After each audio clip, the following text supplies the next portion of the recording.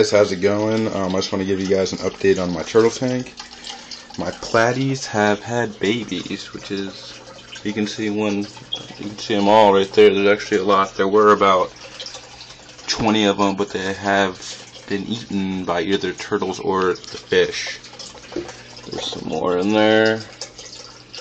Um, my turtles are growing pretty fast. They're a lot bigger than the last time I posted a video. Um, they're doing very well. Apparently got a UVB lamp for them.